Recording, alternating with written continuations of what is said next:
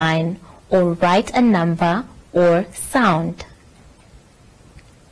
Look at the picture and say the number or sound out loud.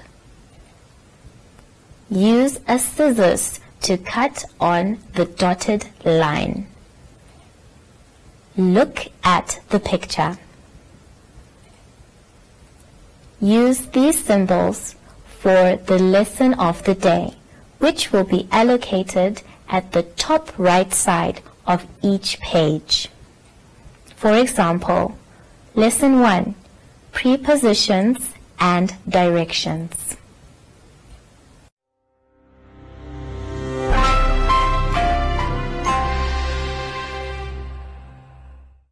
Hello and welcome to My Zone Online School. My name is Teacher Mutsa and thank you so much for joining me today. Our theme this week is travel. And before we get into today's lesson, we must sanitize our hands. Remember, it's also important to wear a mask every time you go outside as well. And when you sanitize your hands, make sure you dry them before you touch anything else. It's also very important for you to check your social distancing by checking the sides if you're touching anyone or in front of you. Well done. Our theme, or rather our lesson today, is modes of transport.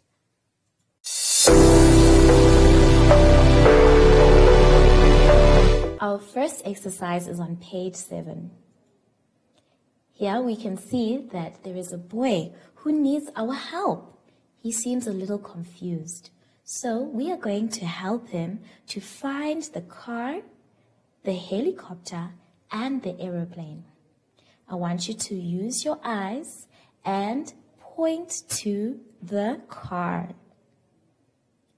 Let's look for the car. Remember, a car has wheels, it has a steering wheel, and it's got lights in front. Can you see something that looks like a car? Yes, well done. That is the car. I'd like you to color in the car. The next thing we need to help the boy find is the helicopter.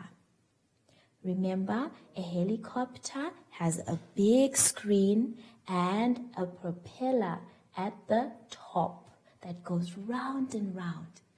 Can you see something that looks like a helicopter? Yes, very good. That is the helicopter. I would like you to please color in the helicopter. The last thing that we need to help the boy look for is the aeroplane. Now remember, an aeroplane has two wings and the front where the pilot sits. Can you see an aeroplane? Well done! You can see an aeroplane. That is great. Good job. I would also like you to color in the aeroplane. So we helped the boy find the car, the helicopter, and the aeroplane. Remember, these are all ways that people travel from one place to another. And when you are coloring in, make sure you don't color in anything else except those three things. Otherwise, it's no longer something that we use to travel. And by doing that, we make our friend, the little boy, very happy. Enjoy yourselves and be very careful when you're coloring.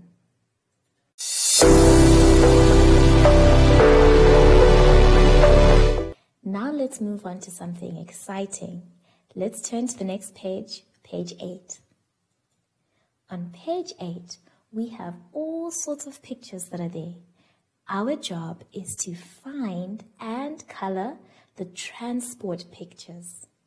Now I know for some of you these will be easy, but let's take a look at all the pictures that are there. Remember, transport or travel is something that you can use to move from one place and going to another place. Can you use a bucket to get to town? No, we can't so please don't color the bucket. How about an aeroplane to move from one city and go to another one. Yes, so you are going to color the aeroplane. Can you use a house to go to town? No, you can't use a house to go to town. So please do not color the house. Can you ride a bicycle to your friend's house? Yes, you can ride a bicycle to go to your friend's house. So you are going to color the bicycle. How about a tree? Can you use a tree to go to school? No, you can't use a tree to go to school. So we are not going to color the tree. Can you use a banana to go to mommy or daddy's workplace? no, you can't. But you can use a tractor to move around the farm. So you are going to color the tractor. How about a toy hippo? Can you use a toy hippo to move around? No, I don't think so. Even a real hippo wouldn't allow you to to ride on his back. can you use a truck? Yes, you can. In fact, a truck is what we use to move things from one place to another. You are going to color the aeroplane, the bicycle, the tractor, and the truck. Please make sure that when you color, you stay within the lines and it looks very beautiful. Now let's go to page 9. On page 9, we have a beautiful aeroplane. An aeroplane travels up in the sky.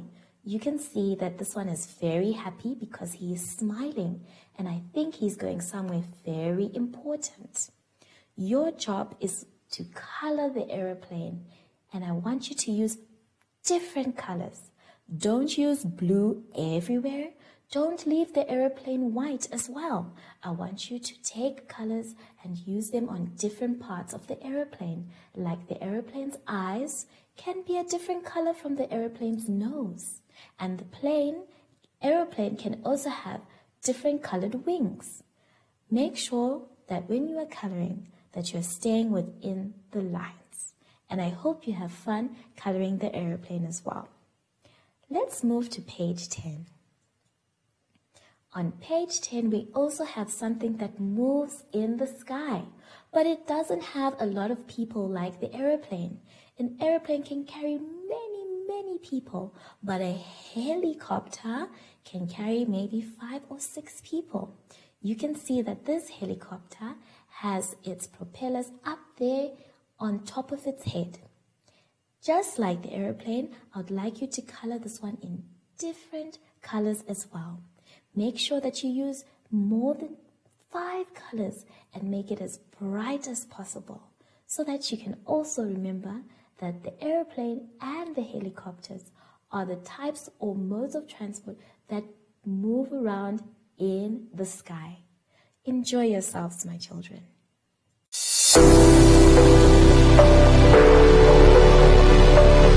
This has been a wonderful lesson, my children.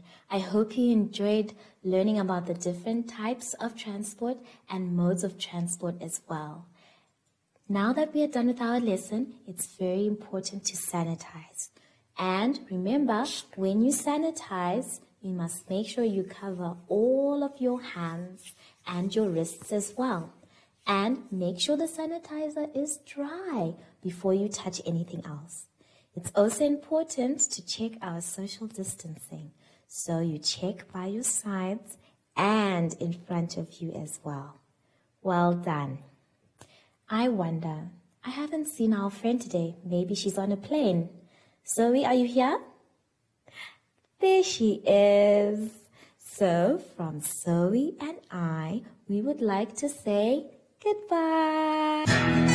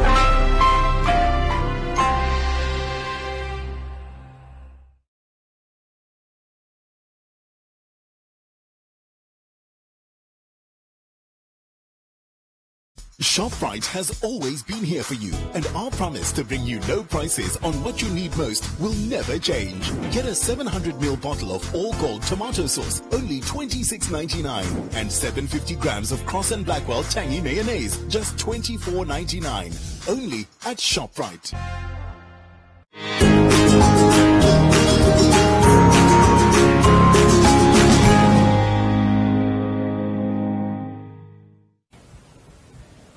Explanation of symbols on worksheets are as follows. Use coloring crayons to color the picture. Use your finger to follow the track or line or show the correct picture. Use a coloring crayon to draw a line or write a number or sound. Look at the picture and say the number or sound out loud. Use a scissors to cut on the dotted line. Look at the picture. Use these symbols for the lesson of the day, which will be allocated at the top right side of each page. For example, Lesson 1 prepositions and directions.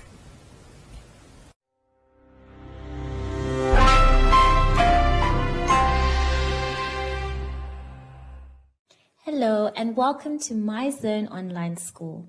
My name is Teacher Mutsa and thank you so much for joining me. Our theme this week has been travel.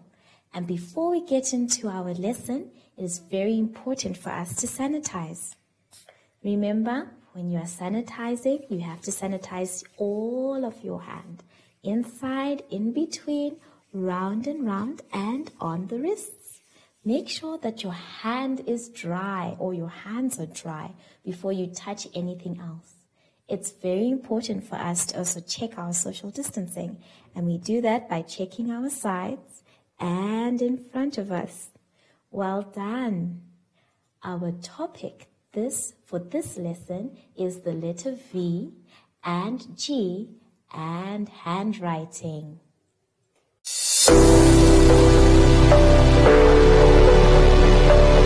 For our first exercise today, please can you turn to page 11. On this page, we are being introduced to a new letter. The name of the letter is V and the sound that it makes is v. Let's all say v. Again, v. One more time. V. Well done. So we are going to try and draw the letter V to write it.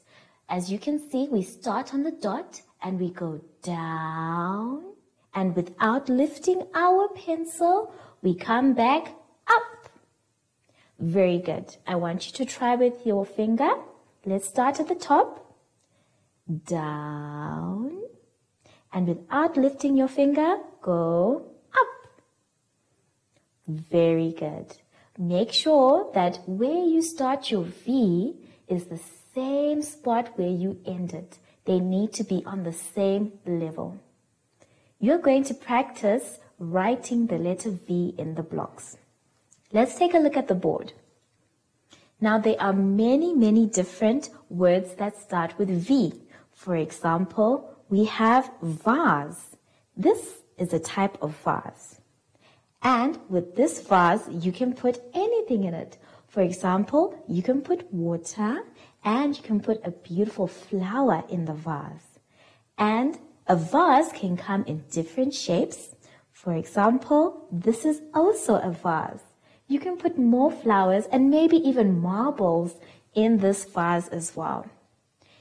Other words that start with v are van, the van that we use to travel. Yes, some of you actually go to school in a van sometimes.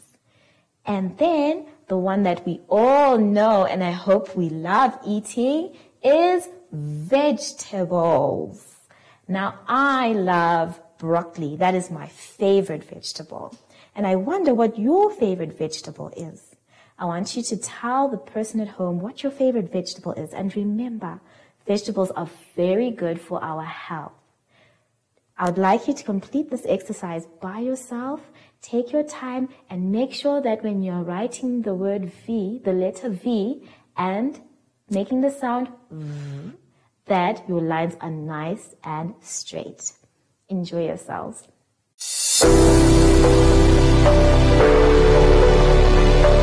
Our next exercise is also another letter.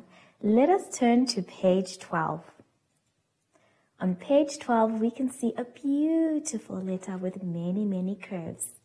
This letter is called the letter G. And when it makes its sound, it goes like this. G.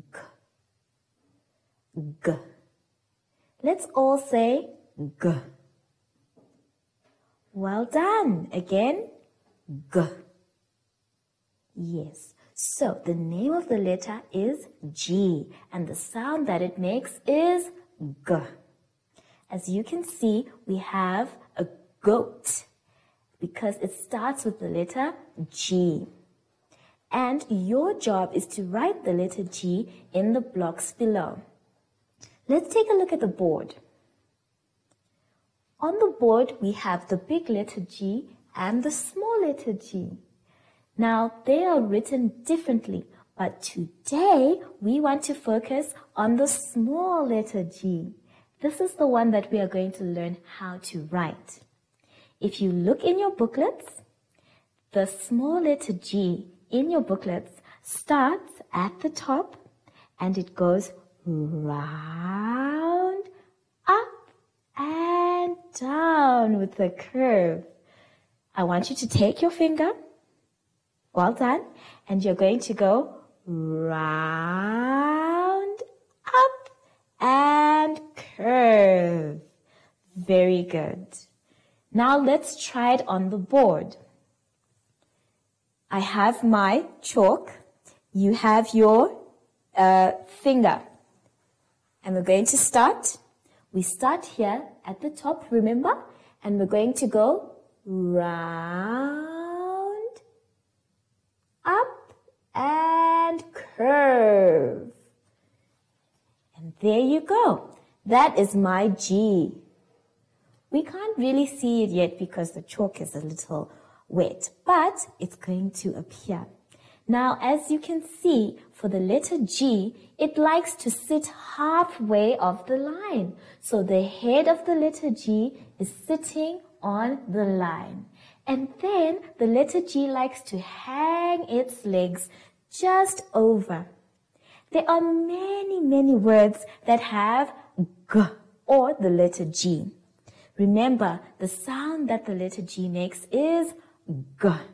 For example, glass. You can see that it is at the beginning of the word glass. There is also another word for example, girl. So let us try again to draw the letter G. Are we ready? Round, up, and down. And remember when you're drawing your letter G, you must make sure that the head and the feet are in the same line or position. She can't have her legs in front of her and she can't have her head there in front of the legs. Take your time when you're doing this exercise, and I know that you're going to have fun. Do you know any more words that start with G? I want you to tell the people at home all the words that start with G. Enjoy yourselves.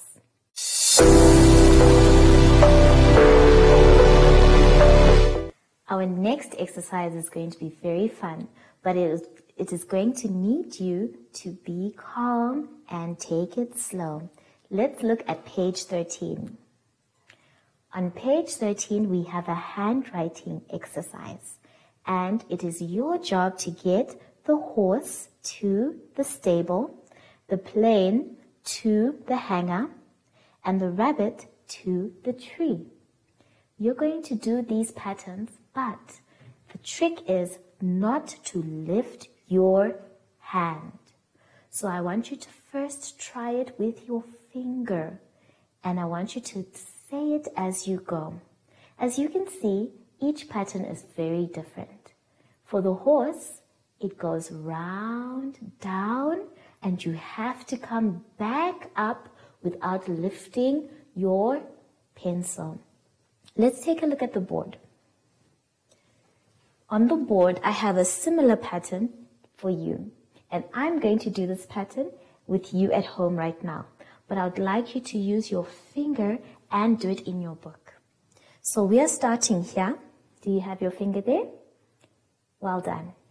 And we're going to go round, down, then without lifting our pencil, go back up in a straight line and round again, down. Remember, we're not lifting our pencil. Go back up and round and down. Keeping our pencil there, go back up until the pattern is done. If you need to stop, make sure that you don't lift your pencil. Otherwise, the pattern will be wrong. Down, you go back up and make sure that you're within the lines of the pattern. Down, go back up. Very good. And down. And I have finished my pattern. I hope you have finished yours too. So remember, you're not allowed to lift up your pencil. Let's take a look at the next one. The next one has the aeroplane and it is going starting from the bottom, going round in a loop and down and round in a loop again, going up and down. We're going to try a similar pattern on the board. So you start with your finger, remember, and I will do it with my chalk here on the board. And remember, when you're doing it, it's very easy for you if you say it. So let's start here. We're going up, round, and down without lifting your pencil. Up, round. Take your time when you're going round. And down. Very good. Up, round, and down. Well done. Remember, it's very important not to lift up your pencil and to make the lines meet the trace line as well. Up, round, and down. And the last one, up, round, and down. So this was the second pattern. Remember when you're doing this, when you're going round, it's okay to stop or take your time or slow down, but it is not okay to lift up your pencil. Let's take a look at the last pattern. Now the last pattern, I know you know it very well. It is the zigzag pattern. This is the one that the rabbit is going to use to get to the tree. So we are going to try the pattern, you with your finger on your paper and me on the board with my chalk. So we're going to start by going up and down, up and down. Remember, you're not allowed to lift up your pencil. Up and down. Up and down. Up and down. So this is the last one that we're going to do. Make sure that you don't lift up your pencil. I want you to concentrate and I want you to look carefully at the pattern. If you need to take it slow, then slow down. And remember, it's made easier if you say what you are doing. Enjoy yourselves and make sure your work is neat.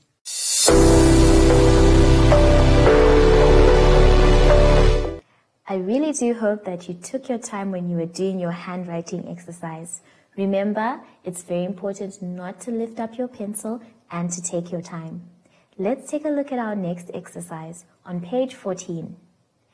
On page 14, we can see that there is a group of friends who want to meet and there is a path that they need to follow. You're going to first use your finger to tra track the path that they need to use. Remember, it's very important not to take closed roads or roads that are blocked.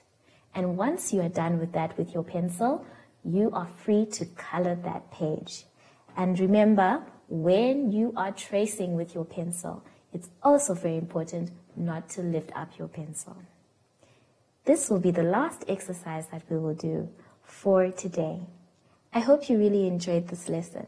And remember, when we are sanitizing our hands, we need to make sure that we go inside our hands, outside our hands, in between, round and round on our wrists as well.